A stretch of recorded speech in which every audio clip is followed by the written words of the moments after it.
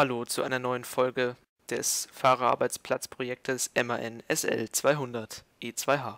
Die in der letzten Folge, der Folge 3 angesprochene Spachtelung, die ich da vorgenommen habe, wo der Moosgummi abgeplatzt ist an dem Grundträger, die habe ich jetzt vollendet und dazu auch nochmal ein Bild, was gerade eingeblendet wird.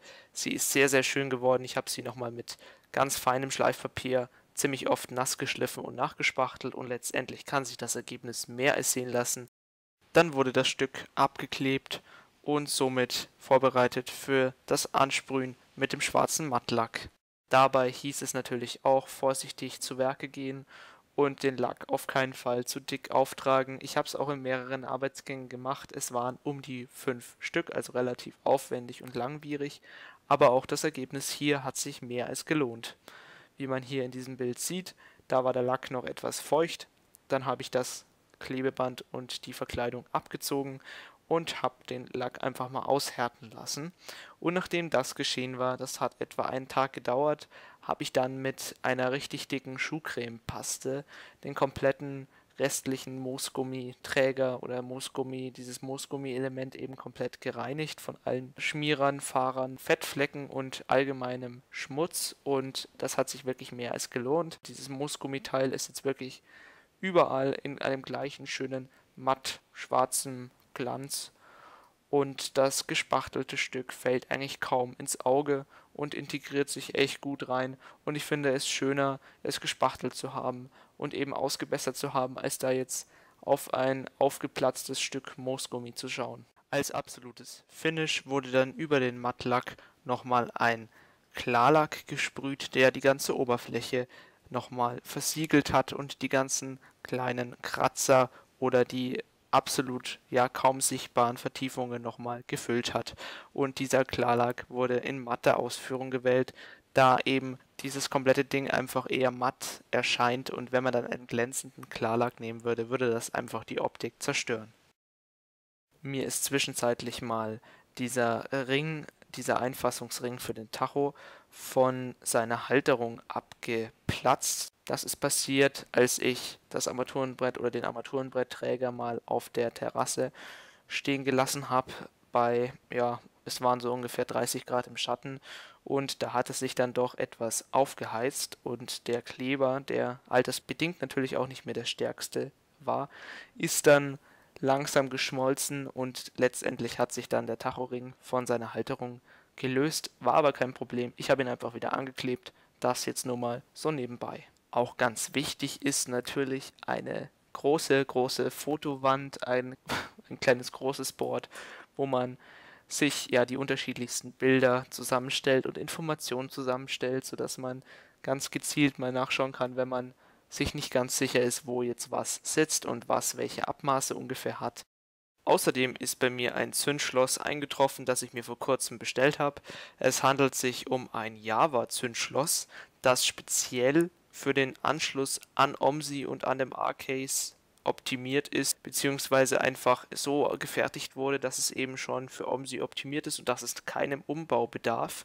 Der Zündnagel wackelt auch nicht, er hat da kein Spiel drin, denn das Schloss ist wirklich fabrikneu und lässt sich wirklich sehr leichtgängig schalten.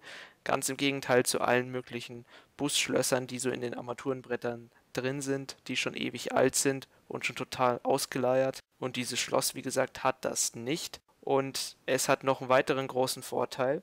Es sieht genauso aus wie die Busschlösser, nur eben in einem ganz neuen, sehr, sehr schönen Zustand. Und außerdem kann es jeder ganz kostengünstig erwerben und zwar auf eBay. Den Link blende ich gerade mal ein. Da hat jeder die Chance, dieses Schloss ganz kostengünstig für etwa 15 Euro zu erwerben. Das ist wirklich nicht viel und es lohnt sich, wenn man dann das Endergebnis sieht. Und es lässt sich eben auch perfekt in die Standardbohrungen von diesen Armaturenbrettern einbauen, so wie jetzt auch bei mir hier. Es lässt sich wirklich prima einbauen, der Zündnagel passt optisch auch voll dazu und der einzige kleine Schönheitsfehler, den das Ding mitbringt, ist, dass es halt Schaltstellungen bis 3 hat und dass eben auch eine 3 eingraviert ist. Aber ich denke, das ist kaum sichtbar und für den Laien auch überhaupt nicht wichtig, ähm, wenn da eine 3 steht, die eigentlich da nicht steht. Und ähm, darauf, glaube ich, kann man relativ gut verzichten.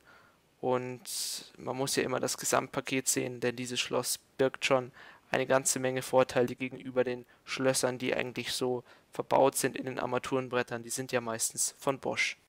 Nachdem das dann geschehen war und ich dieses Zündschloss mal probeweise eingebaut habe, habe ich mich dann dazu entschlossen, den Armaturenbrettträger auch noch abzuschleifen und somit dann von seinem alten verblassten Hammerschlaglack zu befreien. Ja, das habe ich auch dafür gemacht, um eben dann ein schönes Endergebnis in der neuen Lackierung zu bekommen und dann dem neuen Hammerschlaglack eine wunderbare glatte Unterlage, einen glatten Untergrund bieten zu können.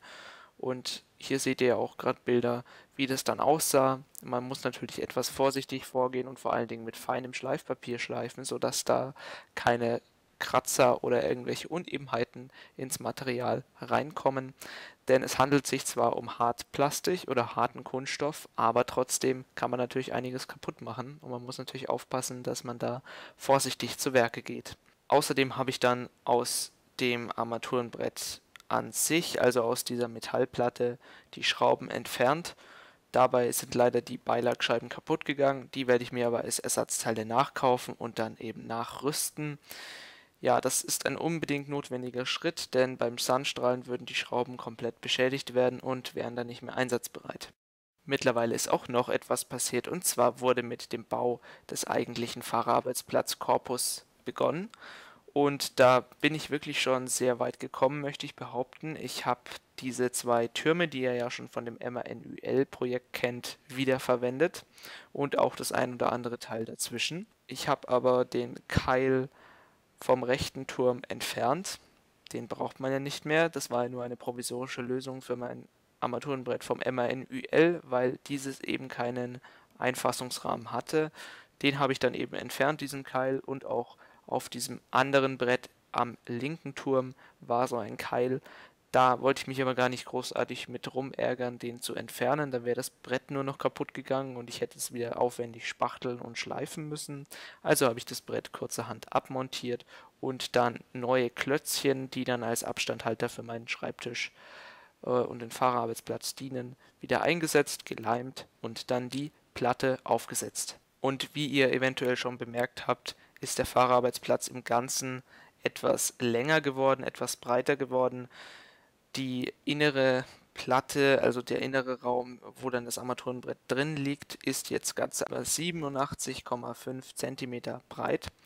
Also füllt jetzt dieser Fahrerarbeitsplatzkorpus meinen kompletten Schreibtisch aus. Also von vorne bis hinten an der Schreibtischplatte liegt dieser Armaturenbrett-Korpus eben bündig an. Das heißt, er ist exakt auf meinen Schreibtisch zugeschnitten. Und somit natürlich auf jeden Fall eine Einzelanfertigung und nicht für die Massenproduktion oder Manufaktur geeignet. Ich sage das jetzt deshalb, weil mich schon viele Leute darauf angesprochen haben und gefragt haben, ob ich denn ernsthaft bereit wäre, diese Fahrerarbeitsplätze in Serie herzustellen. Und ganz klar, liebe Leute, die Antwort es wäre gar nicht möglich, denn jeder Schreibtisch ist so unterschiedlich. Also jeder Schreibtisch hat andere Eigenschaften, jeder Schreibtisch hat andere Abmaße. Das heißt, es wäre rein unmöglich, da einen Standard-Fahrerarbeitsplatz herzustellen. Ganz abgesehen von dem Kosten- und Zeitaufwand. Ja, äh, jetzt nochmal zurück zum eigentlichen Thema. Danach habe ich dann diesen Armaturenbrettträger auf eine Holzplatte eben montiert, habe ihn angezeichnet, dann eben dementsprechend die Holzplatte ausgesägt und die dann eingesetzt genau auf die Höhe, die ich in einem Originalbus des Omnibus Club München des OCM, ich habe ihn euch ja schon mal vorgestellt, abgemessen habe. Ich bin da nochmal hingefahren, habe Ersatzteile abgeholt, die werdet ihr auch gleich im Folgenden noch sehen und habe außerdem eben Maß genommen am Bus selbst und ganz genau mir notiert, wie sich da die Größenverhältnisse so ja, zusammenstellen. Und dabei bin ich dann eben auf etwa 55 cm Plattenoberkante dieser Holzplatte, die mein Armaturenbrettträger hält oder trägt, gekommen und habe dann dementsprechend eben die Platte eingesetzt und den Armaturenbrettträger aufgesetzt oder aufgeschraubt.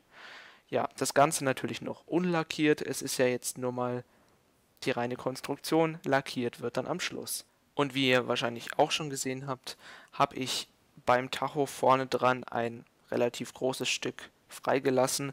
Das wird dann später für die Lenksäule sein und wird dann die Lenksäule eben stabilisieren, stützen, wie auch beim echten Bus. Dieses Element lässt sich auch in echten MAN, SLs und SDs, SÜs, wie auch immer finden und stabilisiert eben dann die Lenksäule und das Lenkrad und dient auch ein bisschen als Einfassung. Und auch da habe ich die originalen Abmaße genommen, also es ist alles wirklich sehr vorbildgetreu. Ja, und diese Aussparung, dieses Holzbrett, was da jetzt eben noch ist, wird dann noch in Form gesägt, passend, wenn ich mein Lenkrad habe. Dieses Lenkrad bin ich mir gerade am beschaffen und auch dazu gibt es natürlich dann eine ganz besondere Folge. Dann ist auch eine andere Lösung in Sachen Schalthebel in sich gekommen und zwar wurde der von seinem jetzigen Platz quasi komplett weggenommen. Das heißt, diese Ausbuchtung oder dieser Halter für diesen Gangschalthebel von Logitech, den ihr jetzt hier gerade im Bild seht, der wird verschwinden, der wird abmontiert und da wird eben kein Schalthebel mehr sein. Ihr wisst ja, dass ich einen Fahrerarbeitsplatz aus einem MAN SL200 als Schaltwagen nachbaue und somit brauche ich auch langfristig einen Schalthebel und diesen werde ich mir dann auch bauen, aber er wird dann auf jeden Fall näher zum Boden kommen. Er wird dann quasi direkt am Boden beginnen. Ich werde den ganzen Schalthebel auf Basis eines Logitech G29 Shifters bauen und den dann einfach so etwa um 40 cm verlängern. Als ich dann beim MVG Museum bzw. dem Omnibus Club München mal wieder vorbeigeschaut habe, auch an dem Wochenende, an dem dieser Cetra, den ihr meinem Abonnenten-Special Teil 2 gesehen habt, gefahren ist, da habe ich mich dann eben auch dazu entschlossen, hey, ich mache einfach mal eine Busfahrt mit, denn da gab es so einen Shuttlebus, auch kostenlos, der vom MVG-Museum in der Ständlerstraße zum Bahnhof Giesing gefahren ist und das Angebot habe ich nicht ausgeschlagen, wollte einfach mal mitfahren und habe für euch ein paar schöne Aufnahmen gemacht. Ich hoffe, es gefällt euch. Es handelt sich eigentlich im Grunde genommen auch um ein MAN SL200, nur eben als Gelenkversion und ein bisschen moderner. Es handelt sich also um ein MAN SG240 in der Prototypenlackierung. Dieser Bus wurde für Testfahrten benutzt und ja, hat heute eine zeitgenössische Werbung. Jetzt werde ich euch mal ein bisschen mitnehmen auf die Fahrt und ein paar Eindrücke euch zeigen.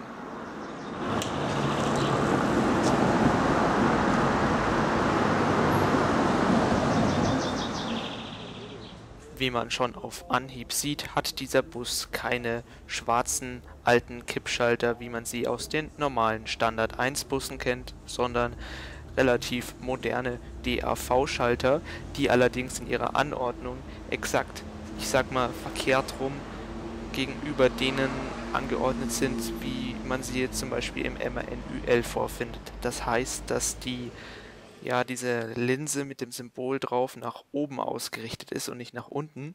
Diese Ausrichtung hatte man eben normalerweise nicht in MANs, sondern eigentlich nur in Neoplans und Cetras. Ähm, von dem her ist es relativ ja, gewöhnungsbedürftig oder zumindest sehr speziell, dass dieser MAN diese Schalter eben so rum eingebaut hat. Das liegt aber wahrscheinlich auch daran, dass das ein Testwagen war. Ja, außerdem hat dieser Wagen keine alten runden Kontrollleuchten mehr und auch noch keine richtig modernen, wie man sie jetzt aus dem MANUL oder O405 oder vergleichbarem kennt, sondern er hat ein Mittelding aus beiden. Er hat zwar eckige, aber mit alten Symbolen ausgestattete Kontrolllampen. Diese Lampen werden heutzutage mit enormen Preisen auf eBay und anderen Portalen äh, gehandelt und dieser Bus hat sie eben noch eingebaut in relativ gutem Zustand. Die werdet ihr dann nachher auch gleich nochmal in Aktion sehen. Das nur mal so vorneweg, denn das macht den Bus auf jeden Fall, zumindest das Armaturenbrett auf jeden Fall einzigartig. Eigentlich nein. Ja, normal, also normalerweise nicht. Also, nein, also ich hatte noch keine Bestelle, keine. Feste. Die müssten eigentlich die Animabusse da umsetzen, dass die. Aber sonst glaube ich nicht. Ich glaube, damals gab es die 85.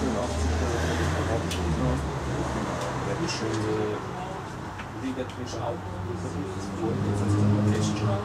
Der hat ein Voltgetriebe. Also Ursprünglich hat die einen drin, also, aber, das ist dann. Nachher zum Wok schicken oder so. Das soll jetzt wissen. Ja. Dankeschön. Das soll man immer über alles genau Bescheid wissen. Und ich soll von den Busse Bescheid wissen. Das ja.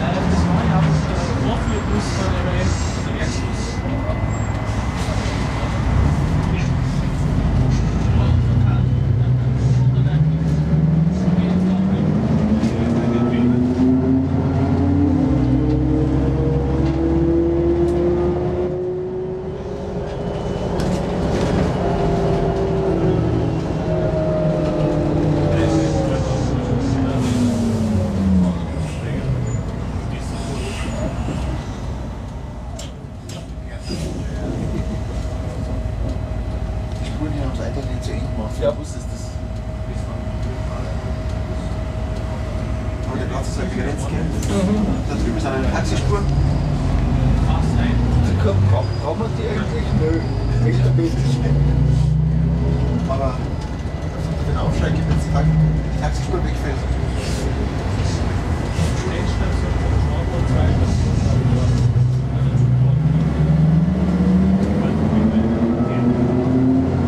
Aber so viel man da muss in die Richtung um die Zeit einmal. So viel man da muss um die Zeit in die Richtung einmal. Die Zeit vorher geht. Das ist wahrscheinlich Sehr verdächtig.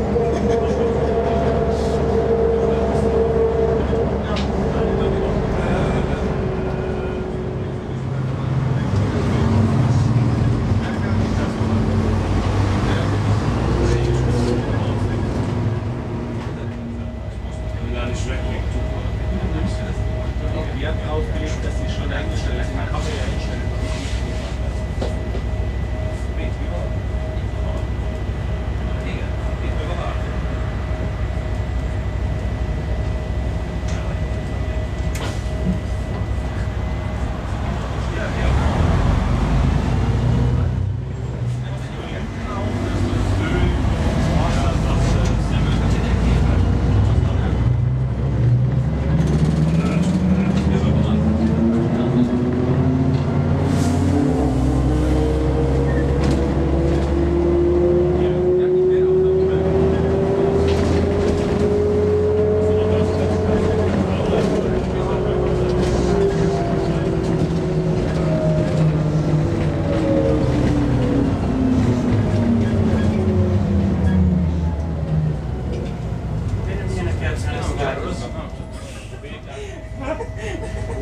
Ja, die ist halt gelangweilt. Ja,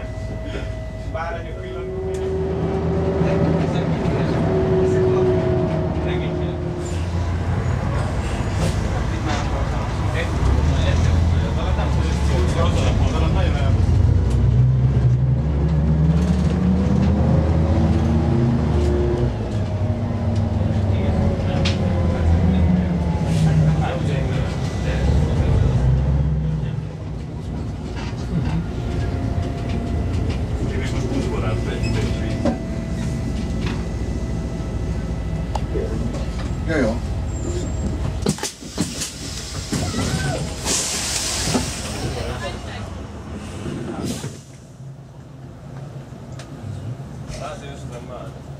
Зарастешь. Снова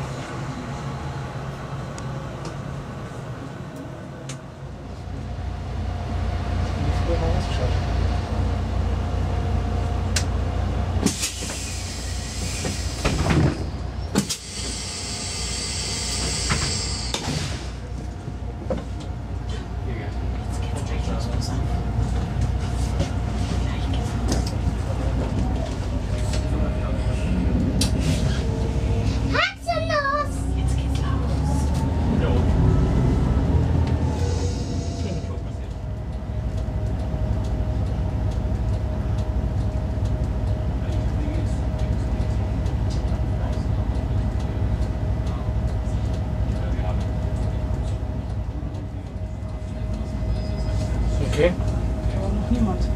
dann. Das letzte Jahr, das war schön.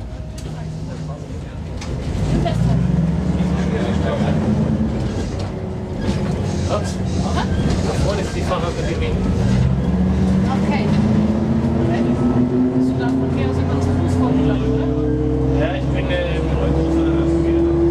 Ich bin immer hinten hoch hinaufgegangen bei der. Genau, ja.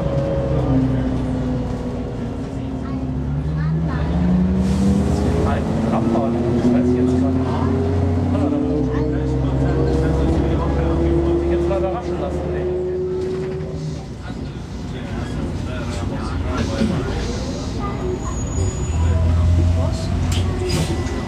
Willst du mir? Ja, komm her.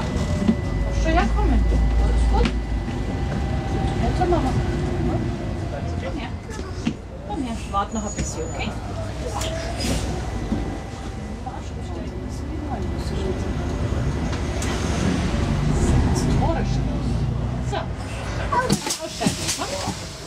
Und zum Schluss möchte ich euch nochmal einen kleinen Blick in meine Wunderkiste, wie ich sie immer so schön nenne, äh, zeigen. Da haben sich jetzt eben einige neue Teile des Omnibus Club München zusammengefunden. Ich habe auch, das wollte ich jetzt auch nochmal an dieser Stelle erwähnen, das ist zwar schon etwas länger her, aber ich denke, man kann es trotzdem nochmal sagen, diesen alten Schriftzug für die Kontrolllampen, äh, der leider an vielen Stellen schon etwas verkratzt ist, so wie hier bei der Bremsflüssigkeit oder hier bei der Motordrehzahl schon ein bisschen abgegriffen. Kurzem, oder ja gut, ein bisschen ist es schon her, habe ich den ersetzt durch einen schönen neuen Schriftzug hier.